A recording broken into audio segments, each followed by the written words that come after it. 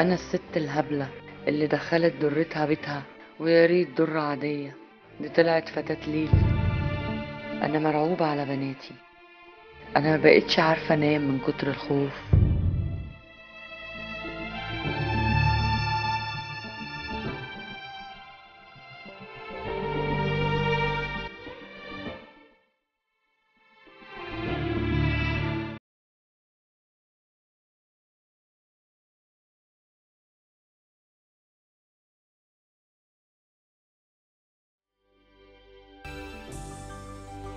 أنا الست الهبلة. أنا الست اللي بإيدي دخلت فتاة ليل لبيتي. وجوزتها جوزي. ما تستغربوش. اللي هتسمعوه هيفهمكم بالتفاصيل أنا ست زي أي ست. عندي 45 سنة. اتجوزت جوزي جواز تقليدي. وخلفت منه ثلاث بنات. دايما بيتهمني بالتأثير. دايما بيقول لي انت مش مالية عيني ومش مكفياني. مش هنكر إني مقصرة. بس قولي لي مين ست في مصر مش مقصرة؟ من كتر ضغوط الحياة والعيال والمصاريف والدنيا أنا طول الوقت بلف حوالين نفسي عشان ألبي طلباتهم كلهم. وبقيت عايشة وأقول مش مهم فوتي عدي سد ودانك على اللي بيقولوا وبقيت عارفة إنه ممكن يكون بيعرف غيري وساكتة لحد ما في يوم كانت الدنيا ضلمة وكلنا نايمين. وقمت داخلة المطبخ عشان أجيب مية. لقيت منظر منظر ما كنتش أحب أشوفه. شفت جوزي في الضلمة قاعد وفاتح الموبايل وبيكلم فيديو كول مع واحدة وفي وضع مش مناسب. وضع عمري ما كنت أتخيل إن جوزي المحترم أبو البنات يرضى على نفسه ولا يعمله. وأنا ست بخاف ربنا. ست مرضاش ابدا إن البركة تتنزع من بيتي عشان خاطر بناتي. بناتي اللي طلعت بيهم من الدنيا. بناتي اللي أنا وهبالهم عمري اللي جاي كله. أصلهم مش عايزاهم يعيشوا اللي أنا بعيشه. قلت له شوف حل اتجوز شوف لك واحدة تانية لكن ما تغضبش ربنا. قال لي تمام يعني اديتيني التصريح. قلت له وأنا مكسورة نفسي اديتهولك بس اوعى تعمل الحرام. وشوية وفاتت مدة لقيته داخل عليا ببنت وبيقول لي معلش اعتبريها بنت من بناتك وخدي بالك منها. بنت كان عمرها تقريبا يجي 19 20 سنة. بنت صغيرة مش كبيرة. أنا جوزي عنده 48 سنة. قلت له مين دي؟ وجبتها منين؟ قال لي دي بنت مسكينة. لقيتها في الشارع بتعيط. أصل أبوها اتجوز واحدة غير أمها ومرات أبوها ما استحملتهاش طردتها في الشارع. ساعتها حطيت بنت من بناتي مكانها. خدتها واحتضنتها وطبطبت عليها. وقلت لها يا حبيبتي اعتبريني أمك واعتبري البيت بيتك ودول إخواتك. مش قادرة أنسى بناتي لما قالوا لي إزاي يا أمي؟ إزاي ترضوا إن واحدة من الشارع تيجي تعيش في وسطينا؟ قلت لهم عيب اوعوا تتكلموا. محدش ضامن الظروف ولا حد يعرف بكرة مخبي إيه. خدت بالي منها وحطيتها في عينيا. ما كنتش أعرف إن البيع عينه منها ومش محترم سنه ولا محترم إنها من دور عيله من عياله. وشوية ولقيته بيقول لي فاكرة؟ انت قلتي لي لو عايز تتجوز اتجوز وأنا قررت اتجوز. هتجوزها اكسب فيها ثواب بدل ما هي قاعدة كده في البيت وهتساعدك وتساعد البنات. ساعتها بصيت له بقلة حيلة لأن عارفة إن رفضي من قبولي مش هيفرق. هو خلاص منشن على الهدف. قلت له اتجوزها. اتجوزها وربنا يهنيكم. اتجوزها في بيتي وبقت معايا. واللي كنت بعطف عليها ابتدى يطلع لها صوت وابتدت تقول أنا زي زيك في البيت وليا حق. أنا دخلت آه البيت وأنت بتطبطبي وبتعطفي. لكن دلوقتي قبل ما تعملي أكل خيريني. ما أنا ممكن أكون عايزه آكل حاجة أنت مش عايزاها. ابتديت أسكت وأعدي وأفوت. لكن اللي مش قادرة أسكت عليه إني سمعتها وهي بتكلم شباب وعرفت إنها بتكلم حد واتنين وتلاتة. وعرفت كمان من تليفونها اللي هي عاملة له password لكن واحدة من بناتي عرفت ال password انها ليها علاقات كتيرة قوي وبتتكلم على الشات مع شباب كتيرة قوي. وطبعا أنا لو اتكلمت مش هتصدق لأن جوزي معاها أعمى وأطرش وما بيصدقش أي حاجة. هي اللي مدلعاه هي اللي مهنياه. أنا سمعته بودني وهو بيقول لها والله أنا لو هحسب الجواز هحسبك أنت أول جوازة. حرام يحسبوا عليا اللي قبلك. أنا بعد عشرة السنين بقيت حرام أتحسب عليه وبقى شايف إن الهنا مع ست الهانم. ست الهانم اللي بتخونه. أصل اللي صيناه ما تنفعش. اللي ربت له بناته ما تنفعش. دقه قديمة لكن هي اللي بتدلع وتفرفش. ودلوقتي أنا مش عارفة أعمل إيه. أنا عارفة إن الهانم كانت يعني استغفر الله العظيم لها علاقات كتيرة قوي. ولسه مستمرة ومش صاينة البيت اللي هي فيه. ولا الراجل اللي عارفها. ده أنا بنتي بتقولي إنها كاتبة لواحد. أنا إيه اللي رماني على واحد زي ده؟ أكبر مني ب 28 سنة. يعني هي مش راضية بعيشتها. قعدت أفكر وأقول أسكت وما أتكلمش لأني مش هتصدق ولا أتكلم. طب يا ترى لو اتكلمت هيبقى ده حرام وهتك ستر؟ ولا جه الوقت اللي ما ينفعش إن أنا أسكت عشان خاطر بناتي؟ بناتي اللي ربيتهم وتعبت عليهم. بناتي اللي ما ينفعش في يوم وليلة يبقى معاهم في البيت فتاة ليل. قوليلي أعمل إيه؟ دي المشكلة اللي جات لي لست عظيمة جميلة محترمة صاينة نفسها وصاينة بيتها. طيب مش عايزاكي تتصدمي ولا تستني الشكر من عبد. البني آدم اللي ربنا بيحبه ما بيخليش عبد زيه يشكره. مش كون إن جوزك بيحب نفسه أو فكر في نفسه ده يحسسك إنك عندك مشكلة. أنت جميلة وعظيمة. يكفي إن ربيتي ثلاث بنات على الخلق والمبادئ. يكفي إنك علمتيهم الدين.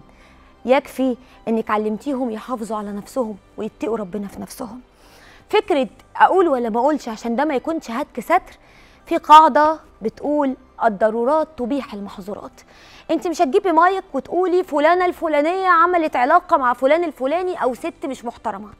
انت لازم تقولي لزوجك لأن الخطر هنا ممكن يصيب بنت من بناتك. ولما الخطر يقرب لعيالنا هنا stop وما ينفعش إن إحنا نسكت عليه. فمهم قوي قوي إن انت تقولي بس أرجوك يا ريت يبقى معاكي دليل وانت رايحة تحكي. يعني بنت من البنات يبقى معاها screenshot من اللي هي شافتها أو تسجلي لها مكالمة. وأنت بتعملي كده بهدف إنك تدافعي عن مملكتك وبيتك وبناتك. تحافظي على اللي أنت طول عمرك تعبتي فيه لأن بناتك هم رأس مالك في الحياة. لازم تقولي له الحقيقة كاملة وهو عليه يختار حبيبها وعمل فيها أطرش وما بيشوفش يبقى بعيد عنك وبعيد عن حدود بيتك. ولحد بيتك ما ينفعش يجي الأذى والضرر لأن البيت ليه شروط وليه مبادئ وبناته ليه حق إن هم يقعدوا ويعاشروا اللي شبههم اللي عارف دينهم وبيحافظ عليه. فارجوكي خليكي واضحة وصريحة وروحي واجهيه وقولي له أنا سبتك تعمل وتستخدم حقك زي ما أنت بتقول وتعمل اللي أنت عايزه لكن لحد حقي وحق بناتي أنا مش هقدر أسكت ولا أعدي الموقف. ولو أنت ناوي تكمل في اللي أنت فيه يبقى الخطر ما يوصلش لبناتي. وطالما الست دي مش صيناك وصاينه عرضك ممكن تعمل أي حاجة وممكن نصحى من النوم فجأة نلاقيها بتعمل أي شيء أو بتأذيني أو بتأذي البنات. فلو بتحبها حبها بعيد عني. لو بتحبها يبقى بره بيتي. لو عايزها وقابل على نفسك يبقى مش هنا. أنا استحملت في الأول لكن دلوقتي مش هستحمل. طيب آخر نصيحة عايزة أقدمها أو نصيحة عايزة أقولها بعد ما رديت يا ستات خلي بالكم من بيوتكم. يا ستات الطيبة والجدعنة ملهاش علاقة بالسذاجة والهبل. ما ينفعش جوزك يدخل عليكي بواحدة وتقولي له أهلا وسهلا تقعد في وسطنا. ممكن أتعاطف معاها ممكن أديها مبلغ ممكن أوفر لها مكان لكن ما أقعدهاش في وسط ولادي خاصة لو مش عارفة أصلها وفصلها. فرقوا يا ستات بين الطيبة وبين السذاجة. فرقوا بين إن أكون جدعة وبين أهدر حقوقي وما أتكلمش فيها وأبقى عايشة عيشة والسلام. الفرق كبير جدا. ما ترضوش بحاجات ما ترضيش ربنا أصلا. اعرفوا إن ربنا ما بيقبلناش إن إحنا نتذل ولا نتهان. ربنا خلقنا عشان يعزنا ويكرمنا مش عشان نطاطي لأي راجل يرضى بأي حاجة أو. أو يعمل أي شيء ومفروض نقول له آمين. ما ينفعش ابدا تعدوا الأمور عادي. ما ينفعش إن أنتوا تقعدوا تقهروا في نفسكم وتكبتوا في نفسكم والاسم هو بنربي عيالنا. طب هتربيهم على إيه؟ هتربوهم على إيه؟ لما تكون انت ست مقهورة هتطلعي بنتك إزاي؟ على فكرة هتطلعي بنت معقدة. هتطلعي بنت أول ما يجي واحد يخبط على بابها هتبقى عايزة تبقى ضدك تماما والشخصية العكس ليكي. عشان مش هتبقى عايزة تبقى صورة منك. مش هترضى إنها في يوم من الأيام تبقى عايشة في كسرتك ولا هزيمتك فلازم تكوني انت ست سوية. عشان تطلعي عيال سوية. فأرجوكم ما ترضوش بده. والرجالة اتقوا الله في أزواجكم وفي زوجاتكم. أرجوكم اتقوا الله في زوجاتكم. أرجوكم. آه معاك رخصة إنك تتزوج بس تتزوج لو أنت عندك حق في الزواج. مش تفاصى وخلاص. اوعى تفتكر إن الجواز من واحدة أو اتنين أو تلاتة كله مميزات. لو أنت فاهم أو موهوم إن الجمع بين أكتر من زوجة هو ميزة وفرحة أنت بتضحك على نفسك. صدقوني صدقوني يا رجالة لو ركزت في بيتك ومع مراتك ومع عيالك أفضل ألف مرة ما تجمع بين واحدة واثنين وثلاثه وأربعة وفي الآخر كلهم يشتكوا من تأثيرك وكلهم يدعوا عليك وتقف بين إيدين ربنا وأنت ظالم وربنا ما بيسامحش ابدا في حق العبد. يعني يا رب أكون أفدتكم. خلوني أطلع وأرجع تاني مع حكايات مروة عزام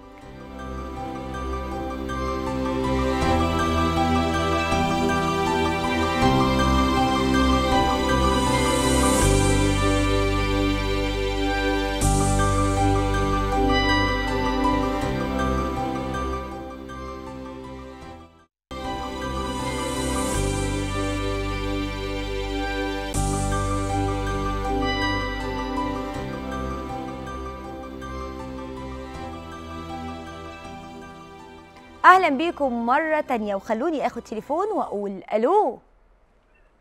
ألو. ألو أهلا وسهلا. أهلا وسهلا ازي حضرتك. أهلا بيك اتفضل. حابب تقول اسمك؟ آه عبد الرحمن. أهلا بيك يا عبد الرحمن اتفضل. آه والله هو أنا قصتي كانت يعني بتبدأ إن أنا يعني خطيبتي كانت بت- بتقرب مني بشكل يعني اللي هو خلاني إن أنا أبعد عشان خفت إن أنا اغضب ربنا وكده. يعني وأنا ب- ببقى عندهم بتقرب ببقى منك. عندهم يعني. آه يعني أنت بتبقى رايح زيارة بيسيبوكوا تقعدوا لوحدكم فبتلاقيها هي يعني بتقرب منك أو أو يعني بتيجي آه، عليك آه. كده. آه آه يعني سواء هم سابونا نقعد لوحدنا أو أو هي طلبت إن إحنا نطلع نقعد مثلا في البلكونة أو كده. أنت بقالك قد إيه خاطبها هو كده يعتبر بقالي سنة وثلاث شهور. هي بدأت الموضوع يبان عندها من يعني بعد بعد تسع شهور من الخطوبة يعني يعني من قريب يعني من حوالي أربع خمس آه شهور يعني ابتديت تحس إن التصرفات دي جديدة عليها. آه آه يعني الأول لأن ما كناش نعرف بعض كان صالونات وكده. فهي بدأ يبان عليها ما بدأت تاخد عليا وأنا آخد عليها في الفترة الأخيرة دي. امم اتخطبت قبلك؟ والله أنا مش يعني هي لحد دلوقتي قالت لي لا إن أنا ما اتخطبتش وأنت كنت أول واحد وكده. إيه اللي قلقك يا عبد الرحمن؟ إيه اللي قلقك؟ إيه اللي خلاك تتكلم؟ ال- اللي قلقني إن أنا عشان سألت كذا حد يعني سألت واحد من صحابي قال لي يمكن بتختبرك. بتشوفك مثلا هتتجاوب آه، مش عارف إيه هتشوف اخلاق بتاع. هي هي اللي بتختبرك؟ ما أنا ما أنا ضحكت والله بقول له يعني هي ما يعني المفروض أنا اللي بعمل كده فأنا بقول آه. له المفروض أنا اللي بعمل كده فقال لي أنا مش عارف بصراحة. مم. وبعدين حصل من فترة برضه قريبة إن هي برضه لقيت رقم بيرن عليا وأنا في الشغل وبشوفك بتروح هناك ومعجبة بيك ومش عارف إيه. فاللي هو أنا برضه المكالمة دي قفلت فيها برضه ما اديتهاش وقت نفسي آه. فخلتني أفكر برضو أكتر إن هي دي برضو حاجة تكون من هنا هي. مم. أو هي فعلا يعني دي ممكن نقول عليها اختبار. ممكن تكون مسلطة واحدة صاحبتها تكلمك عشان آه. تشوف أنت هتتجاوب ولا لأ. لكن بتقرب منك أنت التصرفات بتقول دي آه. التصرفات دي هي إيه آه بالظبط. أنا بقول لك يعني الموقف اللي حصل. مم. اللي خلاني برضه اشك انت حضرتك بتقولي إيه اللي خلاني اللي خلاني تقلق وتتكلم؟ ان هو أنا خايف إن هي تكون مش أمينة بعد آه. الجواز. انت خايف من أخلاقها. آه يعني ما تكونش أمينة عليا بعد الجواز. انت بتحبها يا عبد الرحمن؟ آه، قصدي بقى حضرتك لو قلت لك بحبها لأن لسه برضه يعني ما كناش نعرف بعض فاللي هو في في ارتياح وفي قبول. لكن مرحلة الحب اللي هو الحب يعني ما زلنا لسه عقلنا شغال. لسه قادرين آه. نحكم عقلنا. صح كده؟ آه آه بالظبط. طيب اسمعني يا عبد الرحمن. طبعا آه، زمن العجايب. الايات عكست كنا زمان نسمع إن ال- الخطيب لما بيروح لخطيبته هو اللي بيحاول يختبرها ويحاول يقرب منها يمسك إيديها يقربها عايز يلبسها عشان يشوف هي هتصده ولا لأ. ولو تجاوبت يقول لأ دي ما تنفعنيش. مش هي دي اللي أنا امنها على اللي جاي. ولو رفضت يشوفها بنت جميلة. ويقول آه ما شاء الله وربنا يبارك في اللي رباه. لكن في الزمن الغريب اللي وصلنا له اتعكست الدنيا وبقت البنت اللي بتقرب من الولد وهي اللي بتبتدي تعطف وتلطف زي ما بيقولوا كده عشان آه تعيش معاه جو لطيف بعد تسع شهور من الخطوبة. طالما عقلك ما بقاش مرتاح ابعد. لازم تبعد لأن ممكن على فكرة البنت تكون كويسة.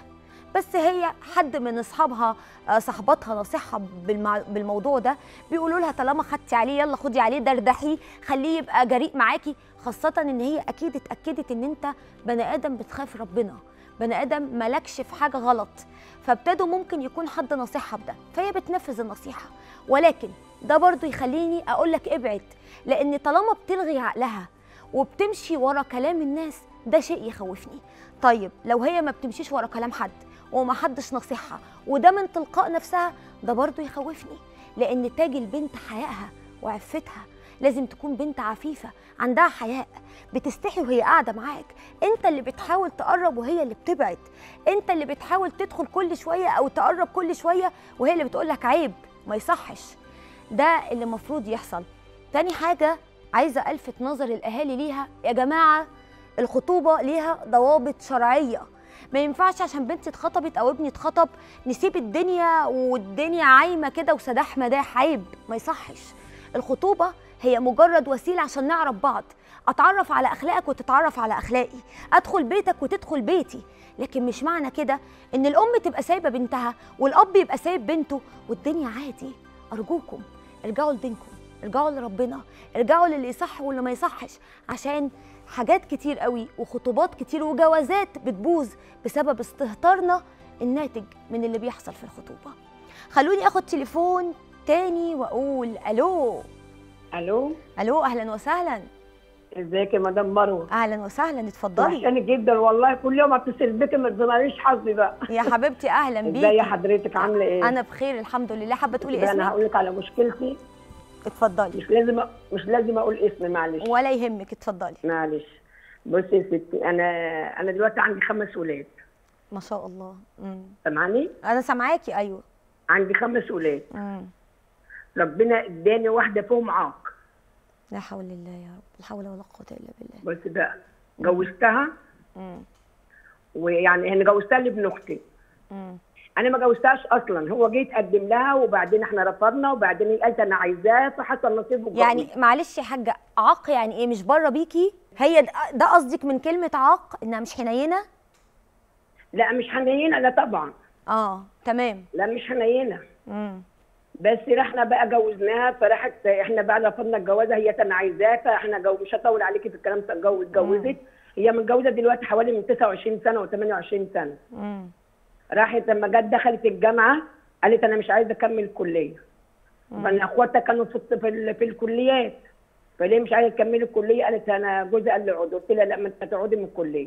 دخلت كلية تربية اتجمعت عين شمس واتخرجت وخلفت بنت وهي في الجامعة وعلمتها وربت لها بنتها وخدت بنتها وراحت روحت زي الفل. وراحت اتعينت وأبوها كان بيصرف عليها الأول. امم ابوها ده كان بيصرف عليها لجوزها قال أنا مش هصرف عليكي في الجامعة تطلعي من الكليه ما نصرف عليكي.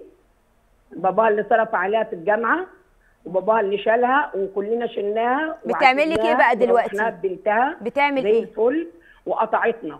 امم قطع قطعكوا تماما؟ قطعتنا تماما. كل أول شهر جيب كارت ب 10 جنيه من من من الشهادة اللي إحنا مديناها لها.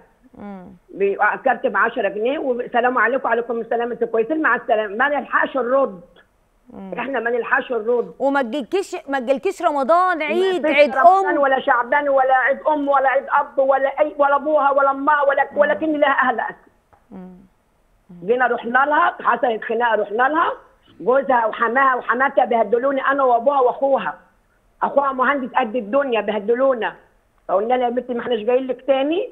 انت تيجي خدي اللي انت عايزاه وبيتنا مفتوح لك في نص السنة وفي آخر السنة لأن هي مدرسة مدرسة ثانوي. امم وخليكي على بيتك. بقت تيجي تاخد اللي عايزاه وتروح. وقطعت بعد كده خلاص. خلاص قطعت مية ونور ما فيش أي حاجة. حتى علاقتها. بإخواتها الأربعة نفس الكلام. لا لا لا لا لا إخواتها في منتهى الجمال. آه. مش قادرة أوصف لك لا يعني لنا علاقتها هي بيهم. هي هي ب- كده برضو قطع إخواتها. بص كله. كله. كله ما فيش ما فيش خالص. بابا جه عيد. بابا جه عيد. بابا متوفي بقاله ست سنين ونص ولا سبع سنين. ابوها عيد. ما جاش بصت عليه وهي الوحيدة اللي موظفة. ما جاش بصت عليه رغم إخواتها شايلينه. الأربعة شالوه. والأربعة وقفوا جنبه. وهو بقى يبص لهم كده ويدعي لهم الأربعة. وشالوه من على الأرض. ودخل المستشفى شالوه. وهي جت مرة واحدة وهو نايم والله العظيم يا استاذه مرة ما دخلت عليه بأي حاجة. دخلت زي الغريبة؟ سلام عليكم قد... وأنا قاعدة في الصالة وما ما قالتليش ازيك يا ماما ولا سلام عليكم ولا عبرتني طب قولي ولا أي لي حاجة. قولي لي يا حاجة. دخلت لابوها خمس دقايق بس خارجه على بره قولي لي قولي لي دلعتيها؟ حاسة إن انت؟ دلعتيها زيادة؟ فيش دلع. آه أمال ما إيه؟ إيه اللي- إيه. خلاها كده. إيه اللي خلاها كده؟ زيها زي إخواتها زي أي حد إيه اللي خلاها كده؟ مفيش حاجة كده. تفتكريها؟ دلوقتي بقى لها 11 سنة. مم. جات لي أبوها توفى بس في عزا أبوها. ما حضرتش العزا بقينا كلنا تحت في الشارع حاضرين العزا هي ضربت تقول لها انزلي قالت لها مش نازلة. ولحد النهارده أبوها دخل التربة. لحد النهارده بقى له ست سنين ونص ما شفناش وشها لوقتنا هذا. طب سؤالك إيه يا حاجة؟ اتفضلي. وأنا دلوقتي أنا أنا دلوقتي ماليش دعوة بيه بص حضرتك هقول لك كمان حاجة. أنا جيت طلعت عمرتين مم. أول عمرة طلعتها من دماغي. ثاني عمرة من- فاضي النبي اللي فات ده رحت العمرة وقعدت قدام الكعبة. والله العظيم يا أستاذة مروة عشان نيت اللي أنا أدعي نيت أدعي عليها. قعدت في الأرض قدام الكعبة وبص للكعبة كده ولقيت حاجة على ظهري من ورا بتقول لي أوعي تدعي. أوعي تدعي وخبط لي على كتفي كده. جيت موطية في الأرض وجبت اصرخ في قلب الأرض وما قدرتش أدعي عليه. لأن. كتفي كان فعلا حاجة بتطبطب على كتفي تقول اوعي تدعي عليها يا حبيبتي. آه الأم ودي- أم. ولا بصي ولا ازيك يا ماما. عملت خمس عمليات. مم. ولا سألت عليا. ولا تليفون. ولا تيجي. ولا أي حاجة. ولا كلمة تعرف أي حد. مم. أنا عايزة أعرف بقى. دلوقتي اللي مطلوب مني أنا اللي أروح؟ مم. تروحي فين؟ مني دلوقتي. انت أنا- اللي أنا تروحي عملتش تسألي عليها؟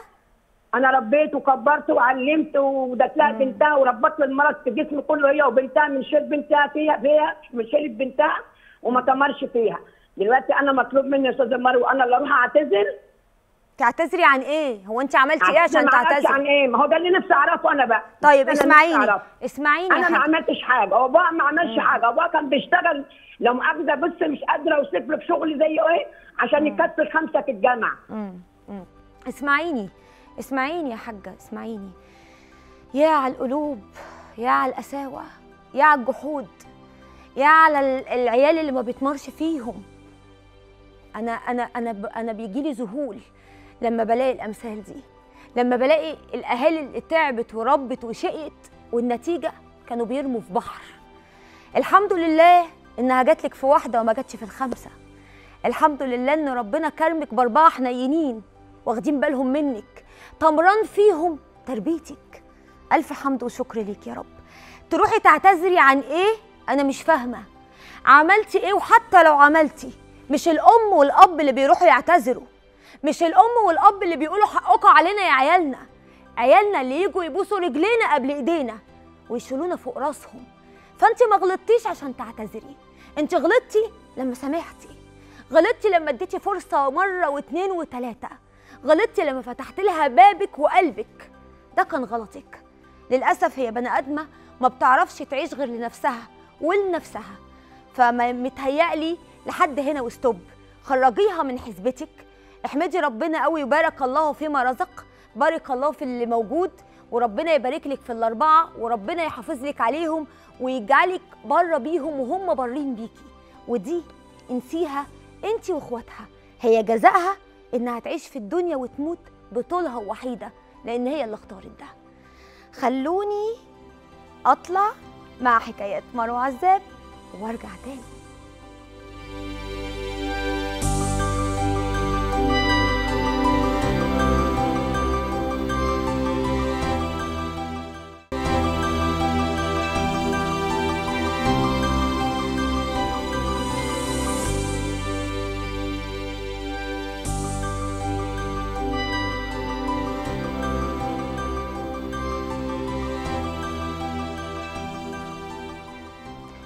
ورجعنا تاني وخلوني آخد تليفون وأقول ألو؟ ألو السلام عليكم. عليكم السلام ورحمة الله. أهلا وسهلا. قبل ما أقول مشكلتي أحب أقول لك إن إحنا بنحبك قوي ربنا يعلم والله العظيم أبويا وأمي بيموتوا فيكي ما بيسيبوش ليكي حلقه ربنا يخليك يا رب ويبارك لك فيهم. شكرا جزيلا. الله وأنا. ياما عملت مشاكل بسببك إني ببقى واقف في المحل ومش مركز مع الزباين ومركز في فيديوهات. الله يخليك يا رب. ربنا يكرمك. اتفضل. ربنا يبارك فيكي.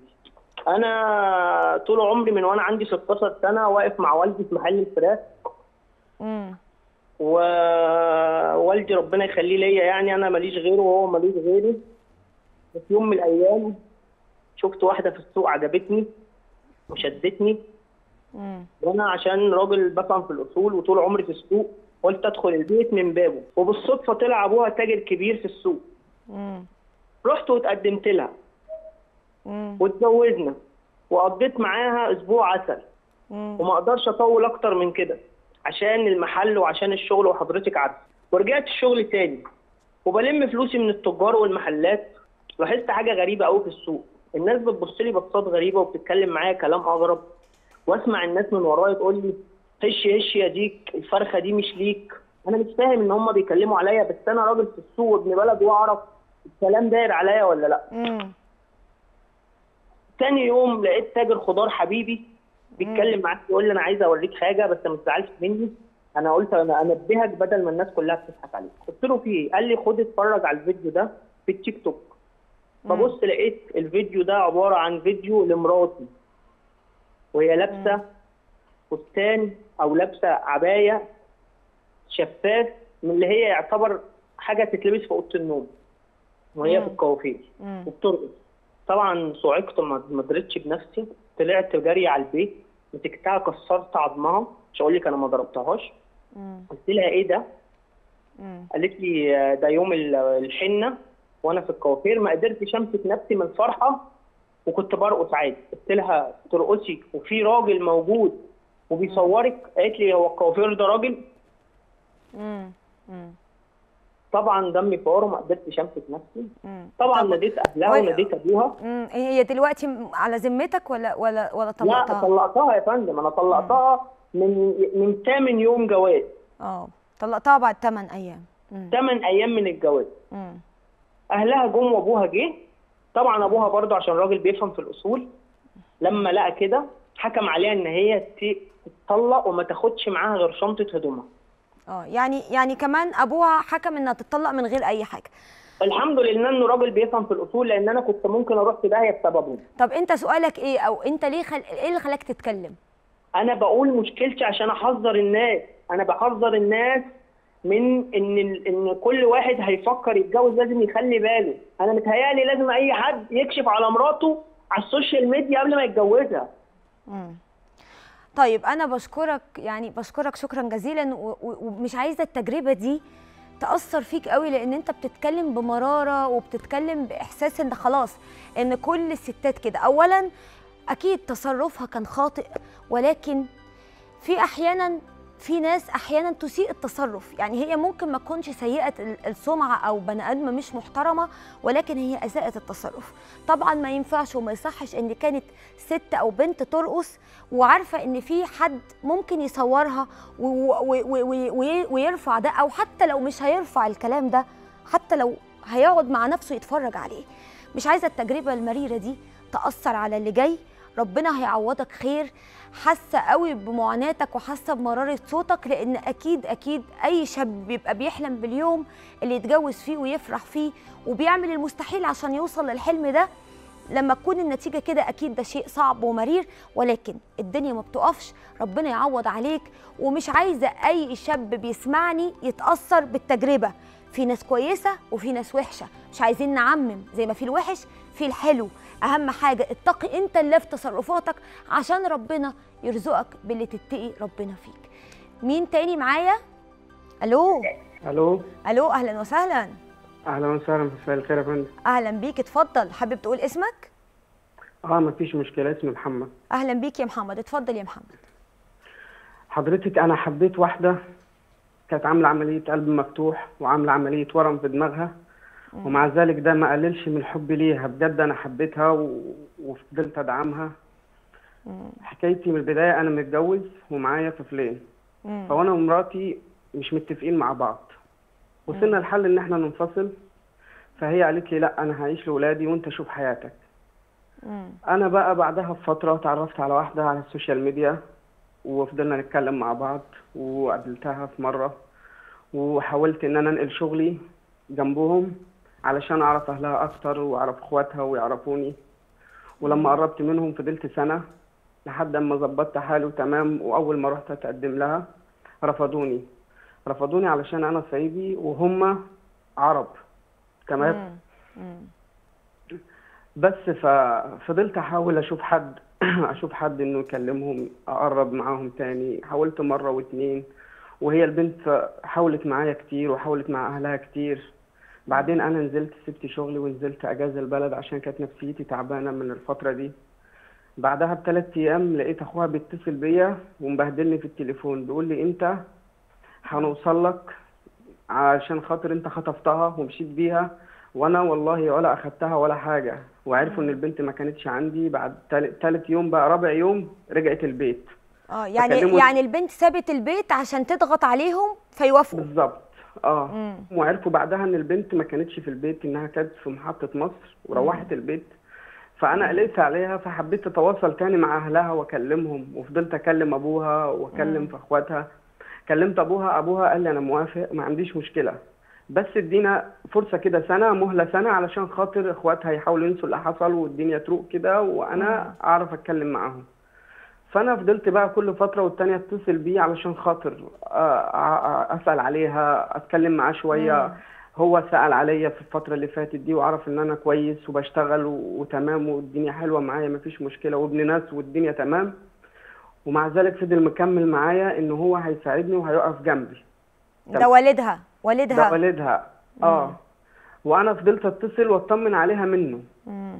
وهي بقى في الفترة دي اللي أنا بعدت فيها وإن أخواتها ضغطوا علي إن أنا ما أكلمهاش تاني. فهي ابتدت يعني بعد ما خفت كانت عاملة عملية القلب وبعد كده عملت عملية الورم وفضلت جنبها في الفترة دي لحد ما بقت كويسة خالص وتمام وبقت زي الفل ورجعت يعني زي الأول وأحسن. فلما تقدمت وحصل اللي حصل ده هي بقى رجعت في الفترة دي تعبت تاني. مم. تمام؟ طب قول لي هم دلوقتي موقفهم إيه؟ هتموا الجوازة ولا هم رافضينك ومصممين على الرفض؟ هما دلوقتي بيقولوا ادينا مهلة سنة. مم. تمام؟ إحنا بحكم إن إحنا عرب ما بنجوزش بناتنا بره ومش هينفع. فما بيبقوش مديني عقاد نفع أبوها في الآخر. فضل يقول لي إحنا ما ينفعش نجوز بنتنا بره. مرة يقول لي أنا موافق بس مستني بس آه يعني أنت. حاسس إن هم بي بيمطوحوك وبيلعبوا بيك.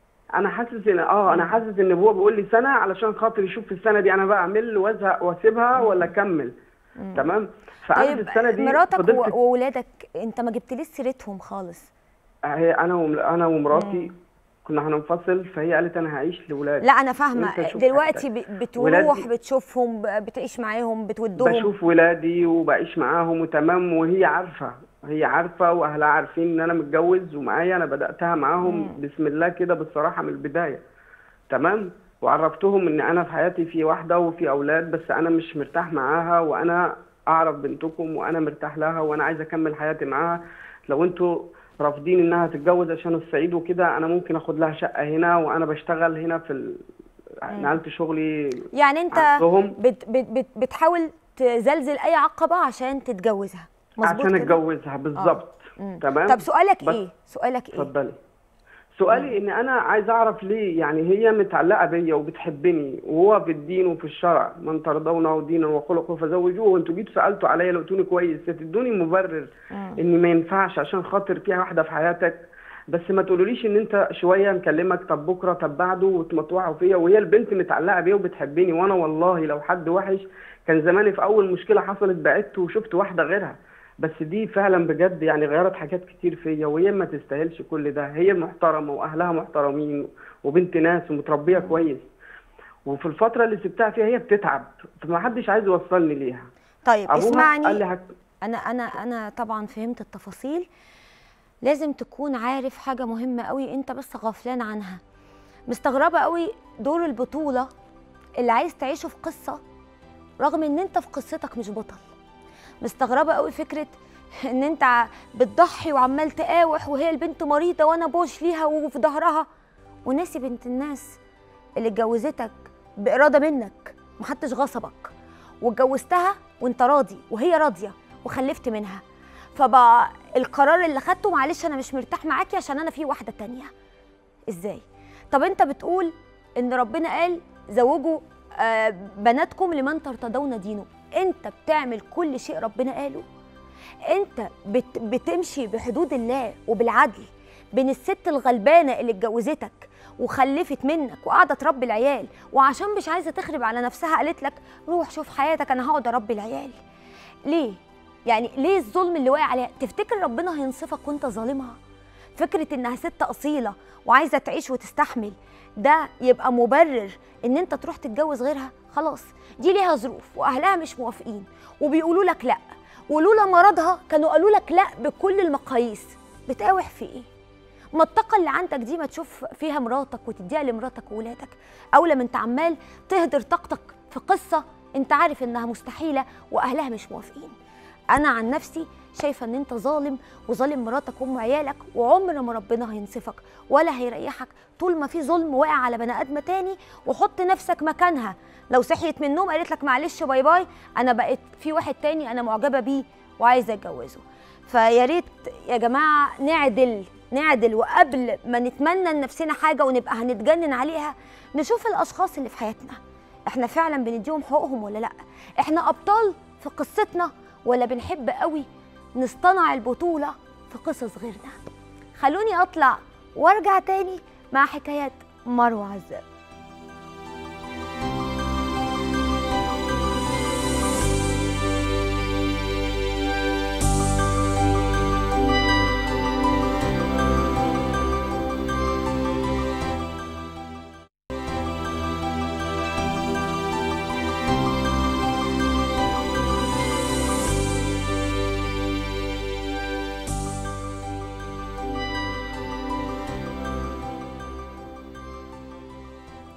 ورجعنا تاني ودلوقتي جت فقرة الأسئلة. والأسئلة دي أسئلتكم أنتوا اللي بناخدها من عن طريق الصفحة. خلوني آخد أول سؤال. السؤال واحدة بعتها بتقول لي أهلي بيقولوا عليا تافهة ومش قد المسؤولية وإني لسه طفلة وما كانش ليا في الجواز. وكل ده عشان عايزة أتطلق لأن جوزي ريحة بقه وحشة وملوش في النظافة. بجد أنا مش بقدر أخليه يقرب مني وكل اللي حواليا شايفيني إن أنا هايفة وتافهة رأيك إيه يا أستاذة مروة؟ أنا عندي حق ولا لأ؟ ولا زي ما بيقولوا عليا أنا اللي مكبرة الموضوع. لا طبعا. لا طبعا مش مكبرة الموضوع. مين قال إن المفروض الست أو الراجل يقبل إن شريك حياته ما يكونش متهيأ ليه؟ ما يكونش مستعد لفكرة إنه يكون معاه؟ يا جماعة النظافة دي النظافة من الإيمان. يعني النظافة ده مش مش رفاهية. ما ينفعش إن أنا دي مش شيء لا أعمله لا ما أعملوش. أنا لازم أعمله. البني آدم النظيف ده بني آدم مقبول. ده حتى علاقتنا بالمولى عز وجل. أول أساسها الوضوء الطهارة النظافة. ما ينفعش نقف بين إيدين ربنا وإحنا مش قد الوقفة دي. فإزاي أنتوا شايفينها إنها غلط؟ وإزاي المفروض إنها تتهاون في حق من حقوقها ومش أي حق؟ ده أهم حق من حقوقها. لأن المفروض إن البني آدم اللي بتعاشره بتنام جنبه بتاكل معاه في طبق واحد تبقى مش قرفانه منه. يعني ده أبسط حقوقها. فأنت يا بنتي مش تافهة ولا هايفة ولا العيب فيكي العيب في اللي حواليكي اللي عايزين يلصموكي ويسكتوكي ويخلوكي تعيشي وهي عيشه والسلام ما تسكتيش وما تقبليش بحاجة ما تكونيش راضية عنها لأن زي ما أنت واخدة بالك من نفسك عشانه هو كمان أبسط حقوقك إنه ياخد باله من نفسه عشانك. والكلام لكل المتجوزين النظافة حاجة رئيسية وأساسية مش رفاهية. طيب خليني آخد السؤال التاني. بتقولي هو طبيعي يا أستاذة مروة إني لما ببقاش موجودة في البيت وعند أمي أخو جوزي ومراته ينزلوا عندي البيت ويطلبوا أكل من جوزي ويتفرجوا على أفلام هي سلفتي تنزل بيتي ليه وأنا مش موجودة؟ بأمارة إيه؟ ولما بشكي جوزي يقول لي ده أخويا ودي مراته وينوروا البيت في أي وقت. إيه اللي بسمعه ده؟ هو إيه اللي بيحصل ده؟ هو يا جماعة أنتوا أنتوا إزاي بقيتوا عندكم من البجاحة ان أنتوا تعملوا العملة السوداء والمصيبة وتقولوا عادي؟ ده اخويا ومراته. طب اشمعنى أخوك ومراته ما بينزلوش غير في غياب مراتك؟ ليه ما بينزلوش ومراتك موجودة؟ كلمة البيوت ليها حرمة. اتنست ولا سدنا ودننا عنها؟ مش البيوت ليها حرمة. مش مفروض مراتك وهي مش في البيت. ليها قدسيتها ليها احترامها. حتى حاجة هنا حاجة هنا. مش مفروض إن أي حد يهتك سترها. على فكرة ده ستر. اللي فاهمين أو أو حاطين في دماغهم إن عادي ده بيت إيه المشكلة؟ ده بيت أخوه. لا ده ستر. افرض مراتك حاطه أي حاجة مش عايزة حد يطلع عليها. ليه تكون سبب في هتك سترها؟ البيوت ستر. عشان كده لازم تبقى أنت اللي بتساعد على ستر مراتك وستر بيتك. مش تفتح البيت لأخوك ومراته في غياب مراتك. ما ينفعش. طب ليه مرات مرات أخوك ما بتعملش زيك؟ ليه مرات أخوك ما بترضاش ولا ليه أخوك مش راضي باللي أنت راضي بيه على مراتك؟ الأصول. الأصول لما غابت ضعنا. الأصول لما غابت بقينا ناكل في بعض. الأصول لما غابت بقينا نبجح ونعمل الع... الغلط ونقول عادي. ده أخويا ودي مراته. لا أخوك ومراته على عينينا وعلى راسنا. بس بالأصول. مراتك ليها حق عليك لأن دي مملكتها وده بيتها. فلو سمحت ده ما ينفعش ولازم تعملي وقفة لو استمر الوضع ده. طيب السؤال الثالث السؤال الثالث حلو قوي. واحدة بتقول أنا دايما بحس إني مش راضية عن نفسي. دايما حاسة إني قليلة في عين نفسي وعين الناس. انصحيني أنا وكل ست إزاي نحب نفسنا. الله السؤال عجبني قوي. السؤال عجبني قوي لأن في ستات كتير فعلا بتعاني من ده. انت سؤالك أصلا في حتة لفتت نظري قوي. بتقولي لي أنا دايما بحس إني قليلة في عين نفسي وعين الناس. طيب عايزة الناس إزاي تحبك وانت ما بتحبيش نفسك؟ عايزة إزاي الناس تشوفك بعين حلوة وانت شايفة نفسك بعين قليلة؟ لكل ست بتسمعني. مش هينفع ابدا تخلي اللي حواليك يحبوكي وانت جواكي مش عارفة تحبي نفسك ولا تقبليها. اتصالحوا مع نفسكم. اتصالحوا مع أخطائكم قبل مميزاتكم. إحنا بشر. كلنا عندنا مشاكل. وكلنا عندنا أخطاء. المهم قوي إن نعرف نتصالح مع أخطائنا ونعالجها لكن بلاش نتغافل عنها ونتجاهلها. حبي نفسك اهتمي بنفسك علمي نفسك حاجة جديدة. اقري كتير. الست اللي بتحب نفسها تقرأ كتير. الست اللي بتحب نفسها تثقف نفسها. الست اللي بتحب نفسها ما تبقاش ست قليلة ولا سايبة اللي حواليها يتحكموا فيها ولا في إرادتها طول ما معاها الحق. الست اللي بتحب نفسها تقرب من ربنا أكتر وأكتر. الست اللي بتحب نفسها تدعي كل يوم ربنا إنه يثبتها ويخليها جميلة من جواها. يا جماعة ويا ستات بالذات اوعي تخلي حد يقلل ثقتك بنفسك. اوعي تخلي راجل أو سلفتك أو جارتك أو حماتك تقولك أي حاجة عن نفسك وتصدقيها. اوعي. حتى لو انت لامسة في نفسك حاجة مش عاجباكي. أو عندك ديفو في شيء وده طبيعي. محدش فينا كامل. ووارد نتغير. ووارد نبقى حلوين ونوحش أو نمر بفترات زمنية تخلينا مش مش أحسن حاجة. لكن طول ما فينا نفس نقدر نكون أحسن.